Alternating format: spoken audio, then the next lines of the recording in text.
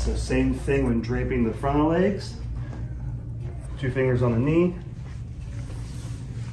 Drape from the knee down first.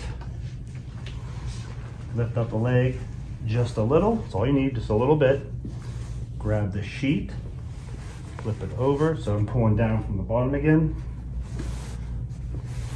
So th this is really like pulling down from the bottom is super important, especially when they're face up. So if I had a bad habit of pulling from the top, it's gonna expose her breast.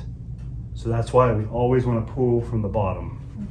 So foot comes undone, not a big deal. Breast come out during a massage, that could be a major problem.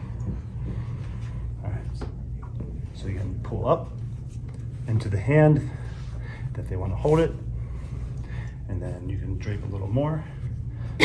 so when you make sure when you're doing the drape face down and face up, you're getting it nice and tight and doing a circular motion like this with the sheet and see how it makes that nice tight line. You get that line, you follow it right in and then you tuck it again. See, everything's nice and tucked. Re redrape the leg.